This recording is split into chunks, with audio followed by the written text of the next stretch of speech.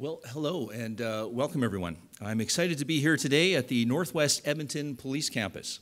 Thank you so much uh, to Chief McFee and the Edmonton Police Service for hosting us uh, here today. I'd also like to welcome our guest today, Chief Neufeld from the Calgary Police Service, Deputy Commissioner Zablocki of the Alberta RCMP, uh, Dr. Nathaniel Day of Alberta's Virtual Opioid Dependency Program, and Edmonton Fire Chief uh, Joe Zatylny. Uh, thank you all for joining us again here today. After working as a police officer for over a decade, coming to a municipal jail is a familiar one to me. Uh, but I'm not here today as a police officer. I'm here as Alberta's Associate Minister of Mental Health and Addiction. The addiction crisis continues to have a deep and a lasting uh, impact in all of our communities. This is concerning and is not in any way unique to Alberta. It is important now more than ever that we remain committed to expanding access to treatments uh, for as many people as possible. That is exactly what we're doing. Just uh, recently, we have made significant advancements in our treatment capacity, and we've been hard at work eliminating barriers to a range of services. Two years ago, we announced that we would be funding an additional 4,000 treatment spaces. Two years uh, ahead of schedule, we've doubled that commitment and funded over 8,000 additional annual treatment spaces. This means that over 8,000 more Albertans every year can access residential detox, treatment, and recovery services. These spaces have no more user fees, completely eliminating financial barriers to treatment. Last week, we expanded the virtual opioid dependency program and began fully covering the cost of Sublocade for Albertans Sublocade uh, lasts in a person's system for 30 days and providing stabilization and reducing cravings and significantly enhancing uh, protection against overdose. This move has been described as a game changer. Advancement in addiction medicine and is available to any Albertan regardless of their circumstances, same day, no matter where you live. You can access this life saving medication by calling the Virtual Opioid Dependency Program, and we're not doing this alone. This government and our partners, such as uh, police, EMS, fire, and nonprofits, uh, working together with a common goal to give Albertans the opportunity to access treatment and enter recovery. To anyone out there who is struggling with addiction, know that treatment works and recovery is possible. We have also been expanding services that reach the 70% of Albertans who are dying at home. If you're using drugs at home, you can download and use the Digital Overdose Response System or the DOORS app. It's free, it's secure, it's anonymous, and it could save your life by dispatching a medical response if you overdose. Anyone in Alberta can access opioid addiction treatment on demand through the Virtual Opioid Dependency Program. There's no wait list, and people are usually able to start treatment on the same day uh, when they call. All of these initiatives are about building a comprehensive recovery oriented system of care for Albertans, a system of care that is built on the principle that no one should be left without hope for recovery, a system of care that treats addiction as a healthcare issue and makes recovery available at every point in the system. Everywhere someone turns, recovery should be available to, uh, to, to them and accessible to them, them in this system. This brings me to today, today's announcement. Our government remains committed to ensuring that communities are safe, that people are held accountable for their actions, but we are treating addiction as a health care issue at the same time. Today, we're announcing the first of its kind in Canada program. Starting today, people who are arrested and brought to municipal jails will be able to immediately start opioid addiction treatment while in custody, regardless of their charges. Through a partnership between local law enforcement and a $1.4 million per year expansion of the virtual opioid dependency program, detainees will have immediate access to evidence based medications. This includes the gold standard opioid treatment medication Suboxone and the newly funded injectable version Sublocade. To seriously tackle addiction, we are building a comprehensive system that includes the criminal justice system, the healthcare system, and civil society organizations. Today's announcement is about bringing these systems together to connect Albertans with proven treatments that we know work. This is the first of its kind in Canada, but it's not new to the world. When Portugal faced their addiction crisis head on, the community decided to put police at the center of the process. we cannot simply remove our law enforcement officers from the equation. A comprehensive system of care can and must involve our law enforcement officers in the solution. Police officers are not an arm of the state, but they are an extension of the community. Overall, the message remains the same treatment works and recovery is possible. I'd like to thank you all today, and I will now invite Chief McFee to speak. Thank you.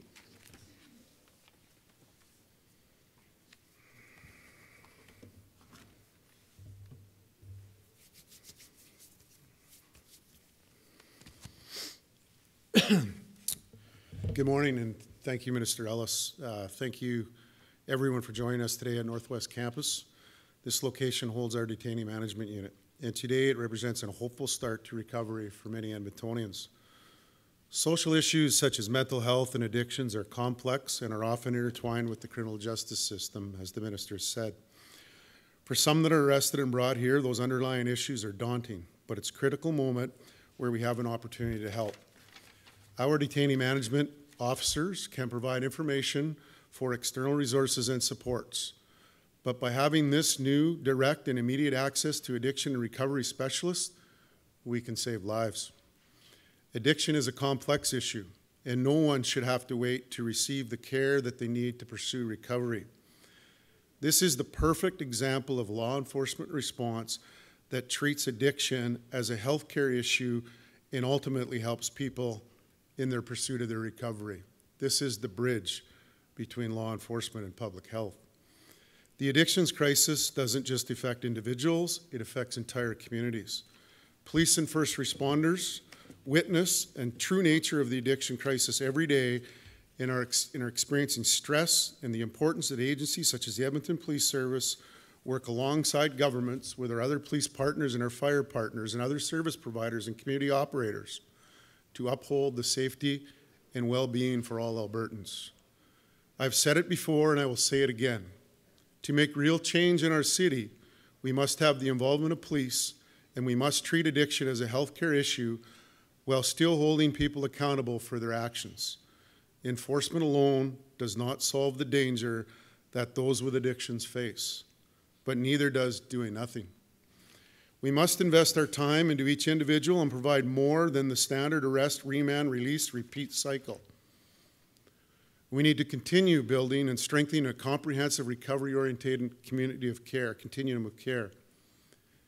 We cannot continue to work in silos and hope our singular approaches will change a person's life. We have to do this together. That is what we're doing here today. We're building another piece of that comprehensive, recovery oriented system of care. We're providing another option, another moment in time where people can choose to get treatment, treatment and enter recovery. With this, we are giving people an opportunity to recover, which is ultimately what we are all striving for. We are grateful for the many partners who have joined our dedication to toward providing recovery oriented care from our help unit, diversion, assistance branch, to the Health IM technology, and so many initiatives in between. We are changing lives for the better with all encompassing supports. On behalf of the Edmonton Police Service, I want to again thank Minister Ellis and his team, the Government of Alberta, for supporting us to do more for people with addiction. Thank you, and I will now welcome Chief uh, Neufeld from Calgary.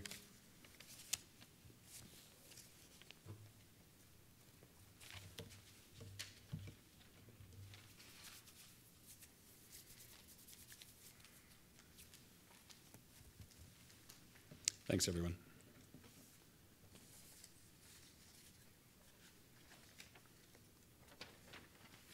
So thank you for the opportunity to attend uh, Edmonton today to discuss uh, the situation in Calgary. We know we have a duty of care to people that we take into our custody. Access to the VODP will enhance our ability to provide additional care to those in custody. The well-being of det detainees and individuals that come into our custody is very, very important to us. So far this year, in 2021, we've had about 8,500 detainees that we've taken into custody in Calgary. So in our APU, that would be around 25 people that come through each day. I've always said that every interaction with a police officer is a potential turning point.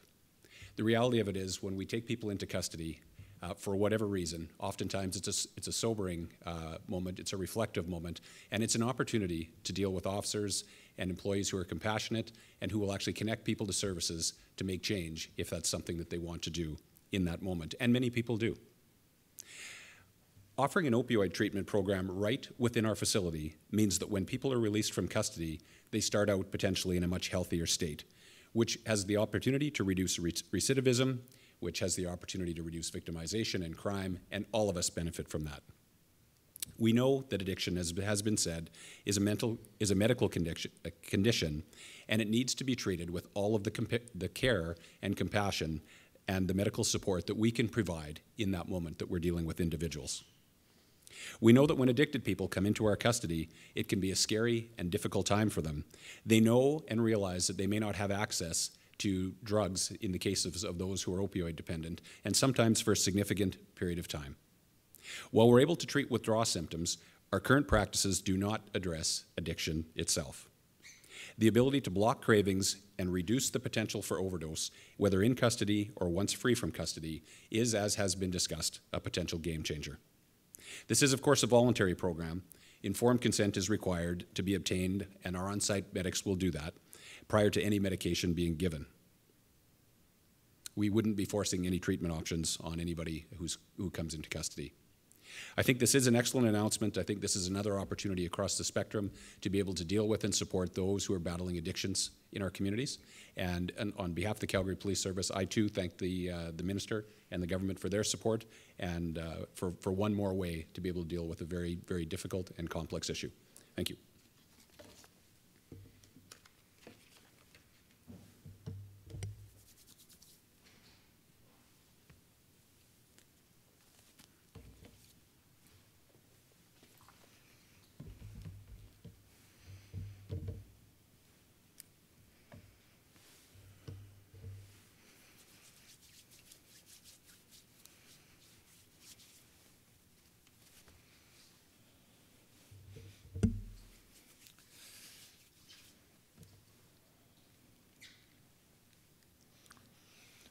Hello and, and, good morning, everyone. I must say uh, to start that the Alberta RCMP is very pleased to be participating in the Government of Alberta's virtual, virtual opioid dependency program. With our initial rollout of the program in our detachment areas of Grande Prairie, St. Paul, Gleichen, Wetaskiwin, and Stony Plain. We look forward to the ways in which new evidence based drugs will be used in frontline interventions for those experiencing opioid addictions, as well as partnering with select pharmacies to help individuals in our custody access such treatment. As we know, the misuse of opioids is a nationwide crisis that affects Albertans right here at home. In many cases, underlying factors such as addictions drive individuals towards criminality. This is not only true for populated city centers, but also within smaller rural communities across our province. In fact, that, in fact, we know that much of the property crime reported in Alberta RCMP jurisdiction is linked to drug use. And while it's our organization's role to uphold and enforce the law, as police, we recognize that we need to work towards more effective responses that address the root causes of criminality. With the implementation of the virtual opioid dependency program, and the public administration of this new treatment, law enforcement agencies can aid in creating ways for offenders to address some of the underlying causes of their criminal behavior. Through preventing opioid withdrawal symptoms and reducing individuals' dependency, these drugs can assist individuals in managing or even treating opioid use disorder. And in this way, we as the Alberta RCMP may hold persons we have in custody accountable while also providing them with necessary healthcare solutions. We are pleased to partner in this program for the safety and well being of all Albertans. This includes those experiencing addictions in our rural communities. With this new program, we can play a role in helping individuals access the resources they need and create a stronger, safer Alberta. Thank you.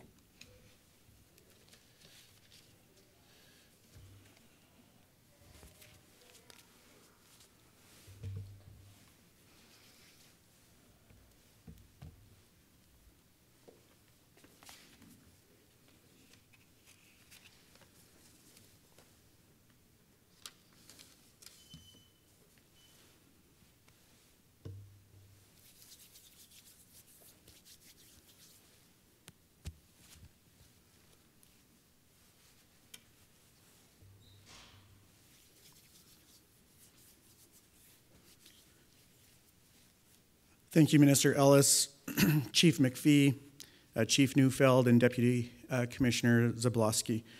Zablocki. Good morning. One of the advantages we have in Alberta is that we have the virtual opioid dependency program, which using technology can reach people all across the province.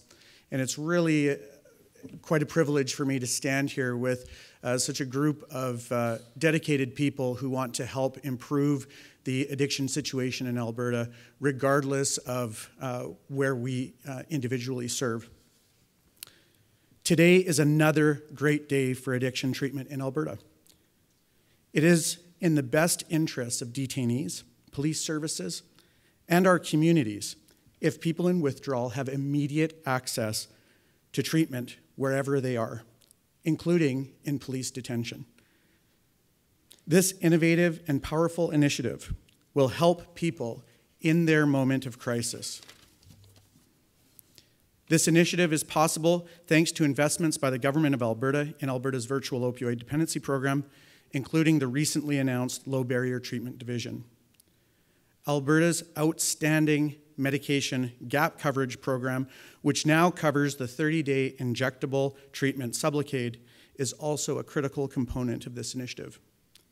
This initiative will be successful thanks to the dedicated police and healthcare staff here and in other uh, police detention sites like this.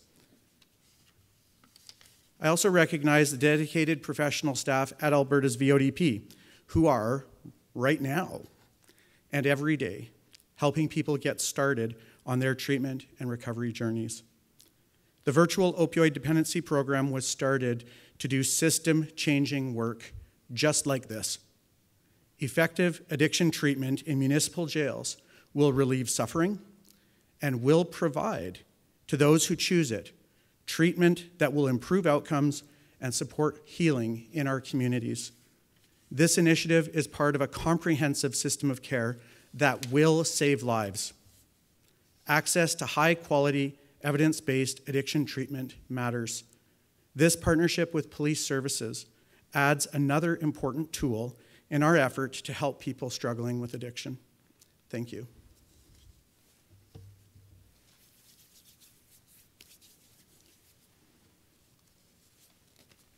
Thank you very much. Uh, we'll now be uh, going to media. We're running just a few minutes behind today, so I'll ask everyone, media and our participants, just to please keep your questions and answers succinct.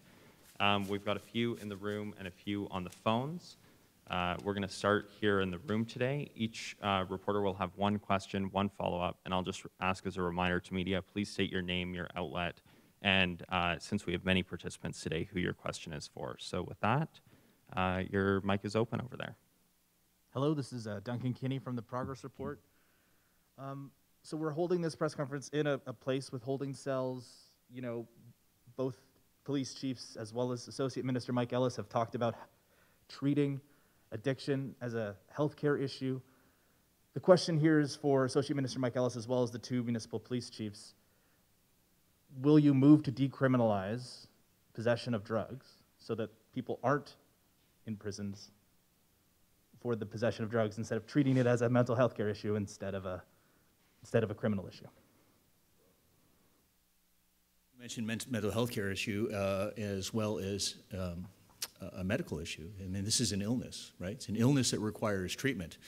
You know, I think I have to go back to my experience uh, when I did work in uh, the city jail in, in Calgary. Um, there were people that uh, came in there. Uh, they, um, um, they weren't there for simple possession. Uh, you know, they had committed a series of, of criminal events, and uh, unfortunately, uh, some of that was was in part due to alcohol or, or, drug use, as an example. And um, I used to take the time to talk to these individuals when they were sober and because that's, you had to be sober to go before a justice of the peace. And each and every time, these people wanted help and they wanted treatment. And that's why we have put together these 8,000 spaces. Uh, that is why we have, uh, you know, Dr. Day here uh, to offer the virtual overdose dependency program. Um, in regards to decriminalization, um, I mean that's a that's a, an entire uh, community system type of change, and, and I believe that the public needs to be uh, uh, informed as to what the evidence is based upon that. Um, I will tell you this if we are going to talk about decriminalization and go back to our, our friends in Portugal as an example, just remember that they have a very robust uh, uh, recovery program in place. And I think that's important to have before we can even have that conversation. But we need to have that conversation with the people of Alberta. Let the chiefs speak if they like. I'm not, not sure I really have anything to add. I totally agree with what Mr. Ellis said, and you look at the Portugal model as we're lacking a lot of supports and a lot of things in place before we can get to the period or point of uh, decriminalization. So, uh, Chief Neufeld, who's the president of ACP, we've made that statement publicly quite some time ago that uh, we don't support decriminalization without um, the necessary supports in place, just as Minister Ellis has articulated. And just quickly, I suppose I'd add that from my experience, I think that model that you talk about it largely operates now. People are not being arrested. Certainly, I can speak for Calgary, uh, not being arrested for small amounts of uh, hard drugs and being incarcerated for just that. Typically, it's uh, it's in relation to other crimes, more serious crimes that are being committed. So when we do talk about decriminalization, I think we've we've heard about this at the national level and we've heard about it at the provincial level as well. I would say that it's almost a distinction without a difference. I think nationally, police chiefs have said they support decriminalization with appropriate supports, and then what we're saying is we don't think that necessarily the necessary supports are all in place there just yet. So it's a it's a it's a discussion that's moving forward, but I, I don't think the system is operating that way now as it is practically, um, and so that that would be the that would be the observation I would add. Thank you. Did you have a follow up? Yeah, just a simple uh, yes no question for Police Chief McFee. Uh, will you be asking Edmonton City Council for to fund the acquisition and use of body cameras? You know, we haven't made that decision. We just, as you're aware, we just got the news of our budget yesterday. Uh, we're going to sit down, we're going to evaluate what we need to do, and we'll go from there. But we haven't made any decisions on that. Thanks. We've got one more in person here. Uh, Jeremy Thompson here with uh, CTV News. A question for Associate Minister Ellis. Um, you know, decriminalization is one thing. Um, there's also questions about, you know, should the government be providing kind of a safe supply um, of, of, opioids to, you know, reduce uh, the risk of overdoses, et cetera. Um, and I understand that there's, you know, you've received reports about the benefits of, of having a safe supply. Um, you know, will, will your government commit to, to looking into that further? Well, we are going to look into that, and that's why that's why we have this select special committee uh, to precisely examine uh, safe supply, and I look forward to uh, testimony from both sides, those that are in support and those who are um, opposed to safe supply, and I look forward to that report and uh, hearing what they have to say.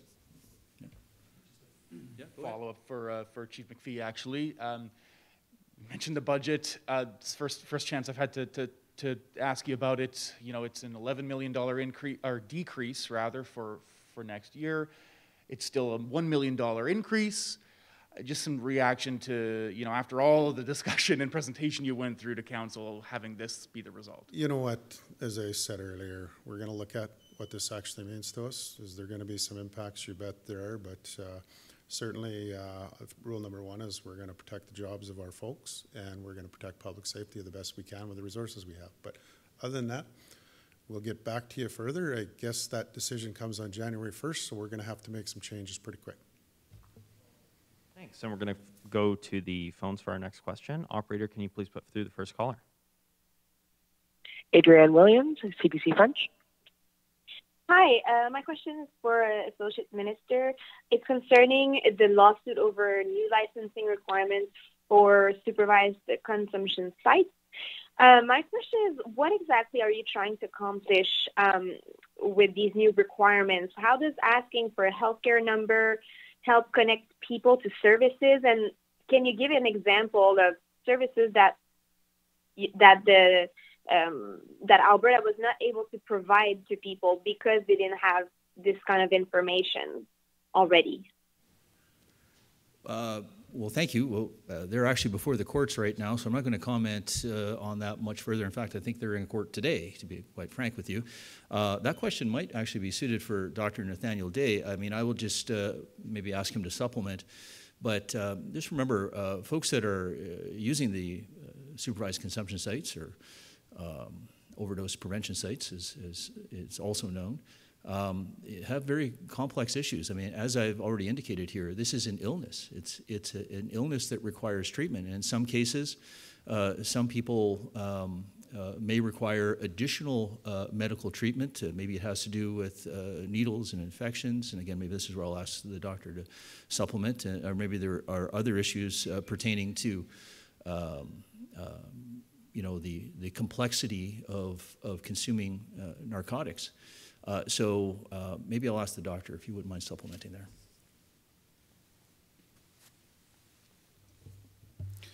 Yeah, thanks for the question. Uh, our virtual opioid dependency program provides supports in many locations all across Alberta, including in supervised consumption sites. And uh, it would be impossible for us to actually provide treatment uh, and treatment access for a person without knowing who they are uh, in terms of making referrals and even in terms of, uh, of, of, providing medications that access important programs like our GAP uh, medication coverage program, which I'll use my opportunity at the po podium to highlight is uh, unique, innovative, and life changing for many people all across Alberta and I've heard from my colleagues across the country that uh, they wish that they had a gap coverage uh, program for medications in their provinces.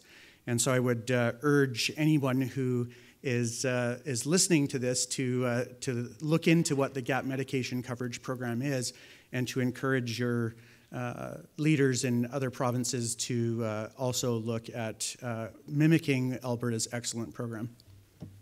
Thanks, Adrian. Did you have a follow up? Yeah. Um, so some groups that are involved in um, these kinds of issues, they say that um, asking or requiring documents like uh, or information like a healthcare number will deter people from using services like the supervised consumption sites. Um, wouldn't it be more, I don't know, effective to only ask for those requirements or start the process for obtaining a healthcare number once people actually agree to or decide that they're ready to enter to enter those treatment programs? I think the simple answer to this is uh, nobody will be denied any service if they refuse to provide um, information uh, such as their name. So uh, again, we want people to provide uh, their information just as the doctor articulated, so they can get whatever medical treatment uh, is necessary for the illness that they actually have. However, if they choose not to provide their uh, personal information, uh, that uh, in itself, uh, that may happen, but just to be clear, they will not be denied any service. Thanks. We've got time for two more callers. Operator, can you please put through the next caller? Catherine Griwkowsky, Alberta Today. Hi, thanks for taking my question. Um, maybe you can get back to me on specific numbers, but I'm wondering of of the total arrests, um, how how much crime is um, committed by somebody who has an addiction and is maybe committing crimes such as theft or break and enter? Like how how big of a problem is it? I'm not sure I can be specific, but let's just say lots, uh, by far the majority of, of some type of uh, substance uh, issues for sure. Catherine, did you have a follow up? Yeah. Um, well, well, you, I believe the minister had mentioned um, other substances such as alcohol use. Um, and, and, oftentimes, people who are using opioids are using other substances such as stimulants. Um, what is the plan to address um, other types of addiction and, and interaction with, with people who have other types of addiction in the criminal justice system? Uh, what, part of what we're creating here is when we say recovery-oriented system of care. I mean that that isn't specific to um, uh, opioids. Uh, I mean, that, that includes alcohol, it includes crystal meth, it includes heroin, it includes whatever, uh, you know, whatever that uh, drug is that the person may wish to get off of. So again, when we, we talk about the recovery-oriented system of care, it's about helping people in a pathway uh, to wellness so that they can live uh, happy and productive lives again. But I think the doctor might want to supplement this. Thank you.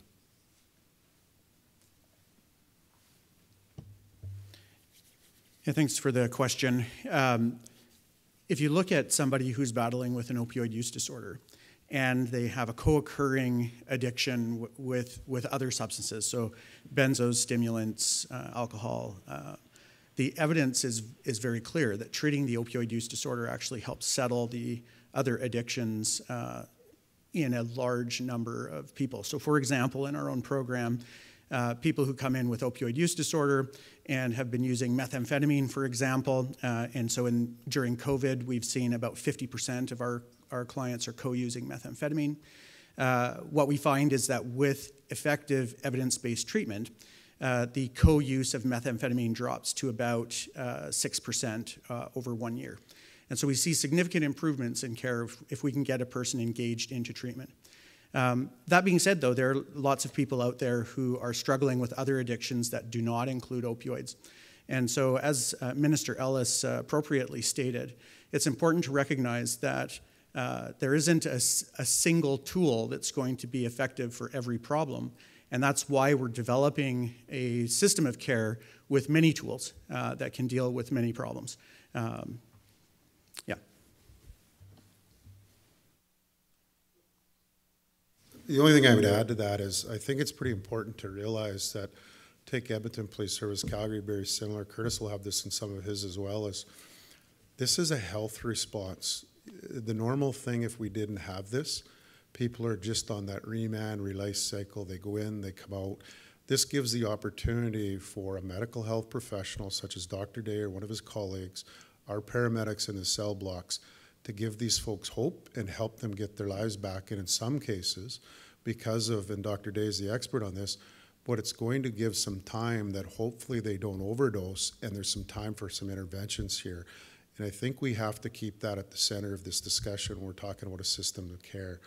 We as police chiefs have been saying this for a long time, and that's going to be a critical part of the discussion. And, you know, the province's lead on this uh, certainly is uh, something that we recognize and appreciate. But this is that bridge between law enforcement and public health. Those two work together hand in hand, and if we have an opportunity to save lives and to use the human factor, such as the medical system, to help, uh, you know, this is pretty much common sense. So I just want to thank you for that. Operator, can you please put through the last caller? Ashley Joannou, Postmedia. Hi, um, thanks for taking my call. I, I just want to confirm uh, one thing real quick. In terms of, everyone has talked a lot about how there are other services, but in terms of this expansion, we're specifically talking about medication that's being offered, correct? Yeah, thanks for the question. So, uh, what what the virtual opioid dependency program can offer, and, and, we're talking about in the detention units where the person's stay is very short. What we're offering is assessment with a multidisciplinary team member and with a prescriber in our program that's uh, most typically a physician uh, who's an addiction uh, medicine specialist who then can pro- provide uh, options and uh, recommendations for treatment. Uh, from there, one of the really great opportunities that we have in Alberta is that we have seven day a week access to bridging care, uh, thanks to the government's investment in VODP. And so, if a person is then released from police custody uh, later that day or the next day, that person has the opportunity to continue with treatment, and VODP will assist that person in bridging to local, most appropriate care as needed. Ashley, did you have a follow up? Did. I just wonder um, what kind of like are these people on staff or are they coming from other places? What kind of training are they getting to to offer this support? So, if, if I'm understanding the question correctly, it's around uh, what training and, and, and sort of what the backgrounds of the VODP staff are. Uh, because if that's the case, Al- Al- Alberta Health Services is the uh, organization that uh, that uh, runs the virtual opioid dependency program. Our staff are uh, come from a variety of backgrounds: addiction counseling, social work, and nursing, and and of course our medical staff are physicians trained in addictions. Thanks, everyone.